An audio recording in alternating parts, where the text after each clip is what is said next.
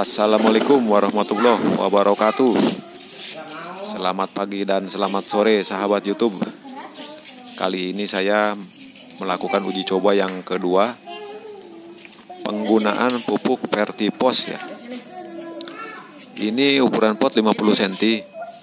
Saya gunakan pupuk Vertiposnya satu sendok teh.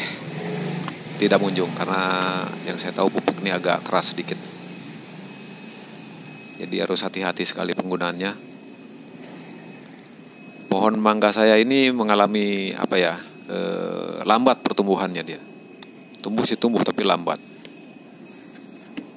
Duluan pernah saya coba penggunaan pupuk vertipos itu kepada tanaman jambu Jamaika hasilnya bagus sih. Ini saya coba lagi ke tanaman mangga. Untuk tanaman lainnya belum pernah saya coba. Hanya dua nih saya uji cobakan nih. Ke pohon mangga bagus nggak hasilnya?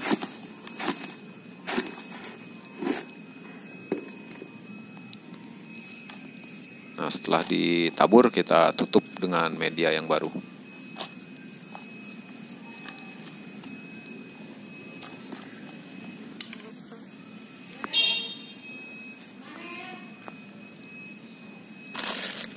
Ini eh, pupuknya teman-teman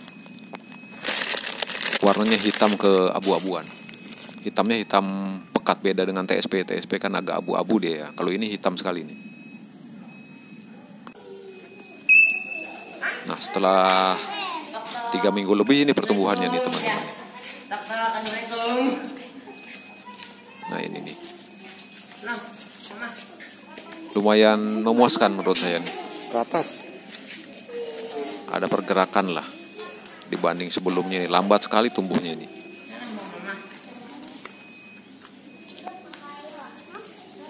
Bagus menurut saya ini. Cuma memang mesti hati-hati penggunaannya karena keras sekali ini.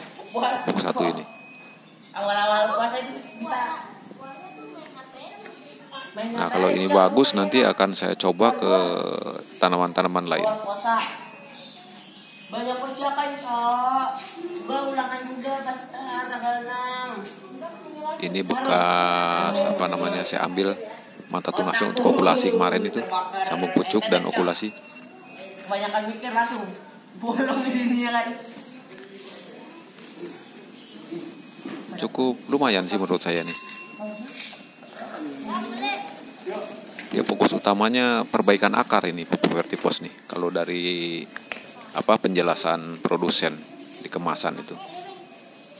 Perbaikan akar dia nih.